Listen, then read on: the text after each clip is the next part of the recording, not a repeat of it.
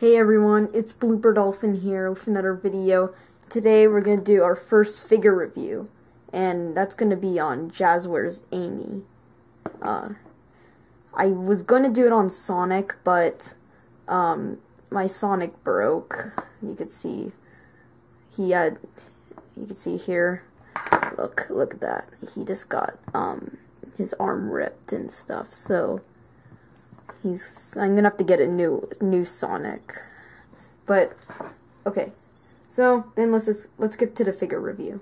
So, so let's go over articulation. So we have articulation he, here, and on the other one also. Like here, it can spin around, and it could go back and forth and go 360 degrees.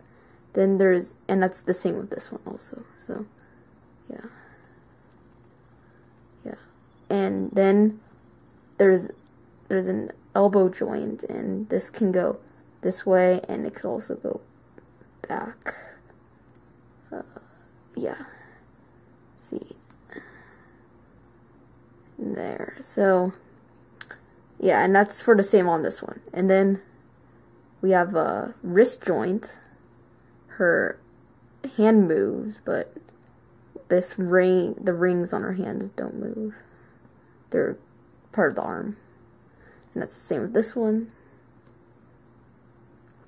And then we have uh, a leg joint right here.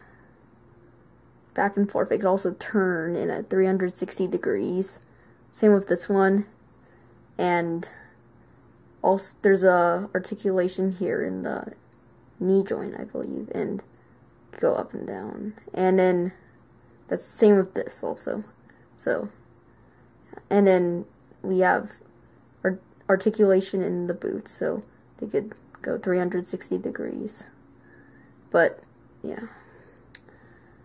Okay, and then there's no articulation in the head, but I think this is one of the earlier versions in the Jazwares line.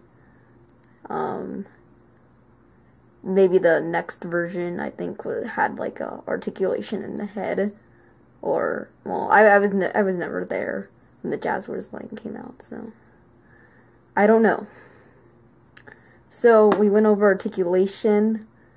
Um, I'm just gonna say a few things about this figure. I think this figure is really good. I recommend it well now you can only buy it on eBay or Amazon or or I don't online or like I don't know on different websites. But I recommend this one. This is really good.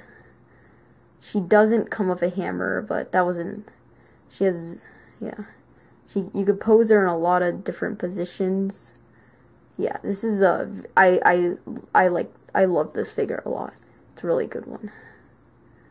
Uh, okay. Well that's it. Please be sure to leave a like and subscribe. Bye.